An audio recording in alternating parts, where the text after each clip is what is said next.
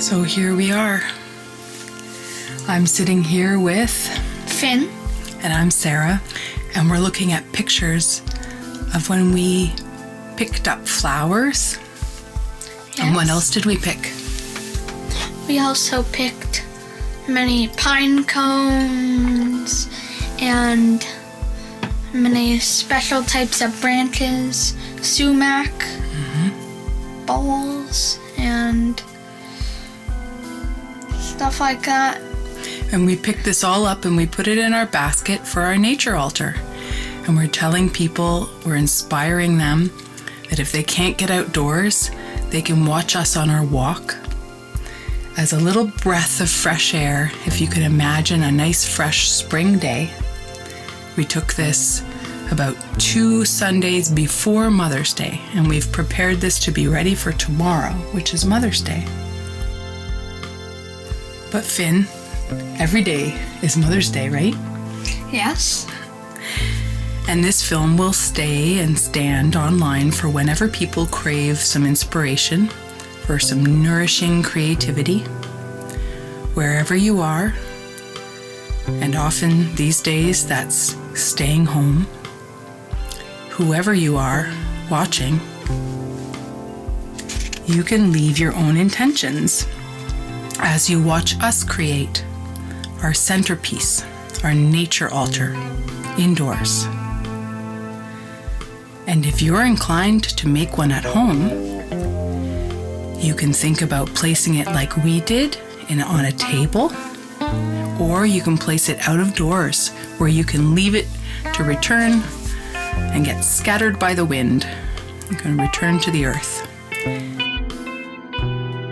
Also collected up some wood chips that the beaver chipped up.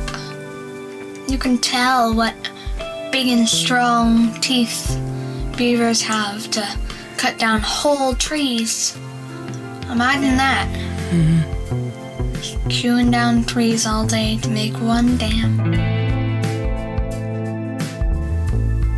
And while you're making, or even while you're watching and listening, let your mind go to the places that you gathered all your natural objects from, and also the places that you come from, the places that you've gone, the places that you'll go. If you don't have a little creek like we did to, to collect little creek rocks and sumac, you can also, or you know, and you can just go for a walk and get leaves. What else do you think you could collect on a walk outdoors, Finn? Um, you could probably collect burrs, which we did, and many more. You could collect Petals? petals. Even if you wished, you could collect some of that beautiful water. That's a nice idea. Can you see the heron? Yes.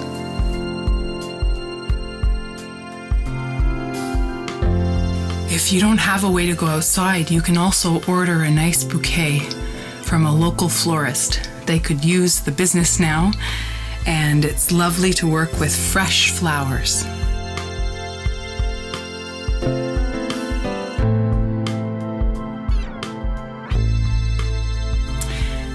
And home. Our beautiful little home. Mm-hmm. And we're laying out, there's some forsythia from our backyard and a daffodil from our front, the front of our house. We're famous for those daffodils. And here we're reading Day Schildkret's book called Morning Altars. And Day Schildkret is the master of, of these um, natural altars. And he inspired us, and he can inspire you if you have a way to look on a website of his called Morning Altars. You can see some of the pictures that we're looking at here in the book. And we're looking here at the seven movements for a morning altars practice. And Finn, can you read number one? Yes. Wander and wonder. That's right, and that's what we just did down by the creek. How about number four? Create. That's right. And that's where you can begin by laying out all of the leaves and all of the objects that you collected in different piles and look at the shapes and the patterns and think about how to bring together all of those different elements into one gorgeous work of art, which is what, as, as Schildkret writes here, the universe is doing all the time. So here we are opening the basket. You can see our cattails that we collected.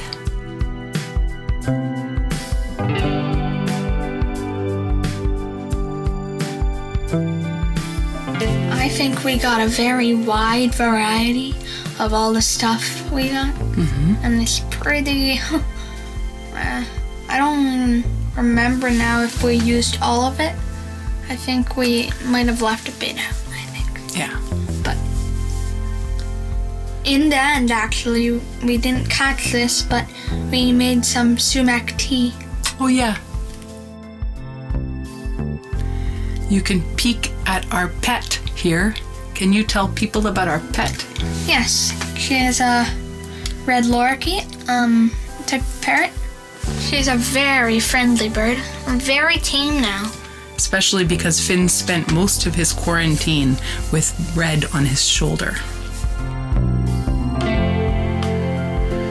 So you and I both thought that the one daffodil would be the perfect centerpiece. Yes, so we cut it up, dissected it.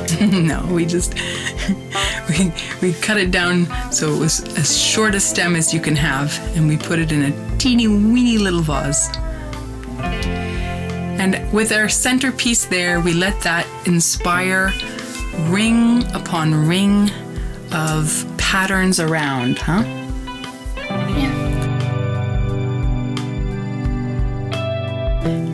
Talked about the different ideas that we had, and you had the idea of crumbling up the sumac. Yeah. I like that idea.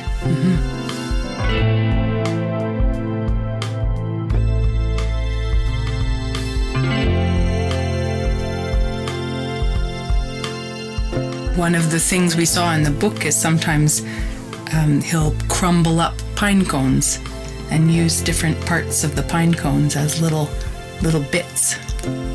Yeah. And sometimes you can take apart a flower and you can use just petals. Yeah. And we made a really big nature altar, right? It filled our whole table, but you might make just a little one on a little table. So I'm going to say some words as a shout out to our patrons who inspired this series, this prescription art series, especially for seniors, senior citizens who are in care in Burlington, where we live. So I've worked in long term care, and I know that right now there are people whose hands sit upon a lap and those hands will not be among the hands that are arranging.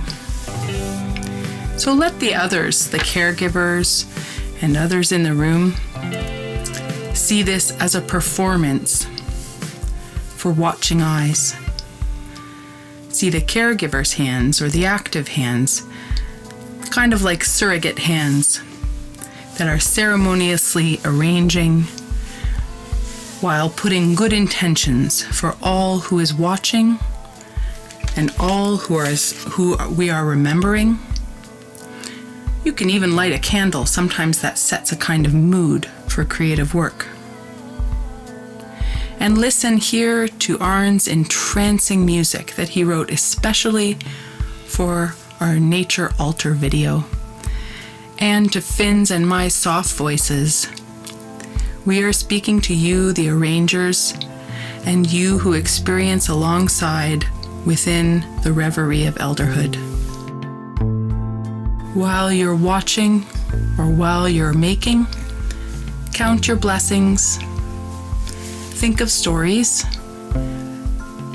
allow memories to surface, and contemplate the delicacy and the hardiness of the natural world through the prickly bits and the fragile bits and the furry bits.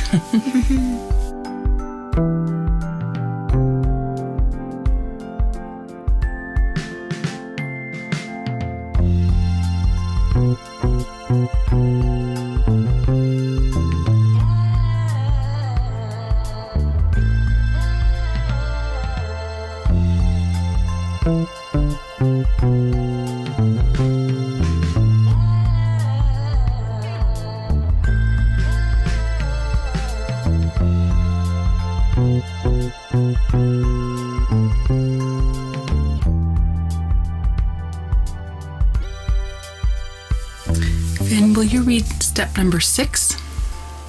Share. Can you read the whole thing? Photograph and share your beauty making and intention, Intentions? intentions with your friends, community, or with people you have never met. That's right. At the end of our video, you can pause it because we're going to give you some addresses you can send this to. We would so like to see the nature altars that you made and also hear about the ideas and things that you want to tell us about this prescription art video.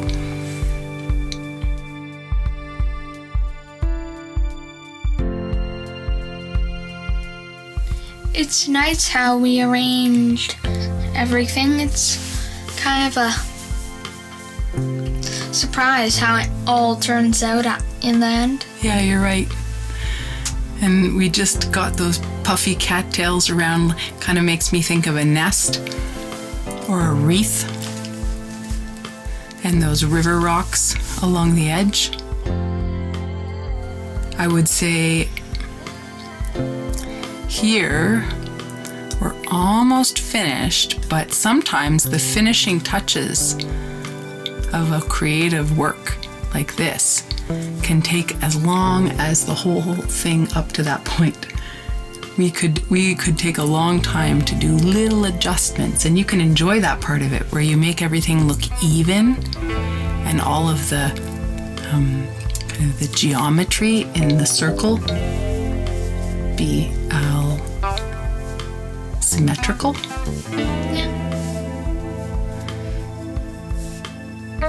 And we got little ideas like adding little tiny blossoms and filling in little tiny spaces.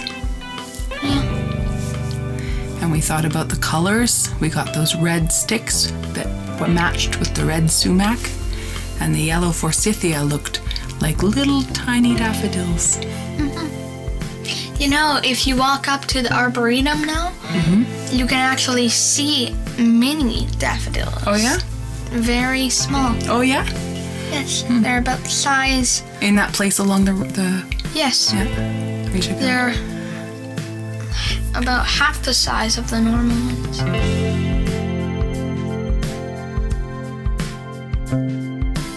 So after you finish your your your little adjustments and your finishing touches,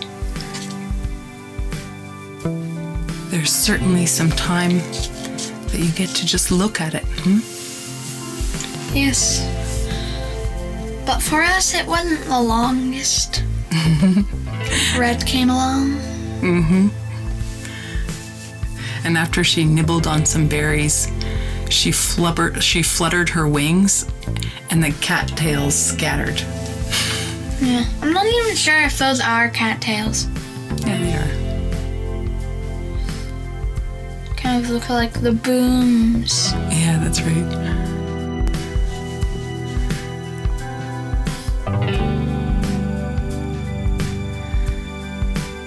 So it's a nice time to settle back and just look at it for the for as long as you like. And if you're so lucky to have a little group of people in this time of, of social distancing, talk about it. Or sit and look at it with delight and satisfied, feel satisfied. and take a picture for us, please. And at the end, what's the very last step, Finn? You have to let it go. That's right. Let the wind blow it over if you decide to put it outside, inside. Well, it'll eventually have to go. Yep.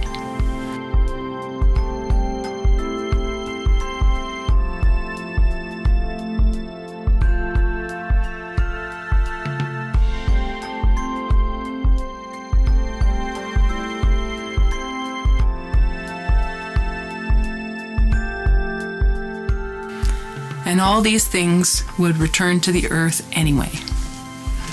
And we like using things that didn't have to come from the art store, that are so natural and everywhere and abundant. And when we picked them, we picked carefully. We didn't pick whole plants, except for our one daffodil. We tried to take just a taste, just a little sample of all of nature's bounty.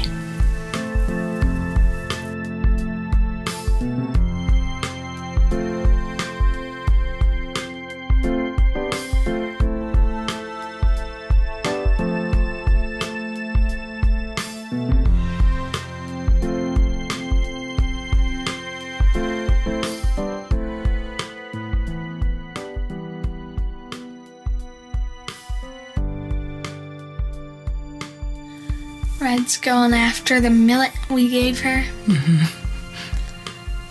Eventually, she.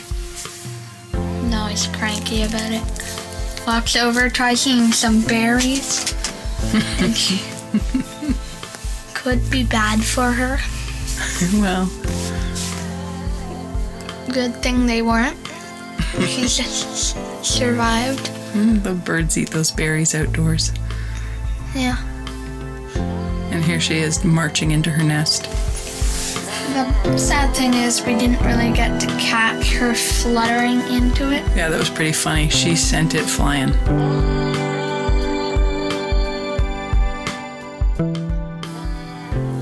And our next prescription art series also will be things that you have at hand.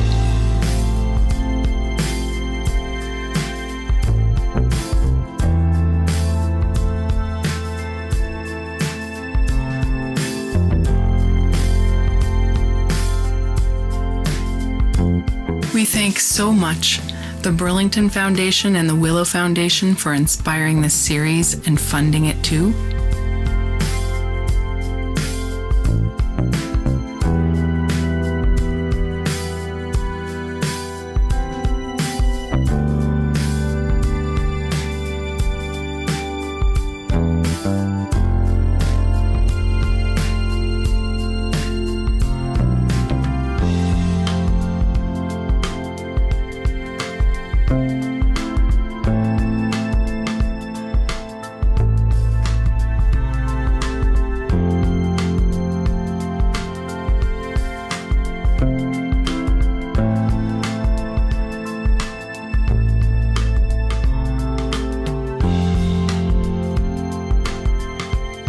You can find these videos and all of our Arterie offerings at by going to our website at www.arterie.ca. We hope you enjoyed.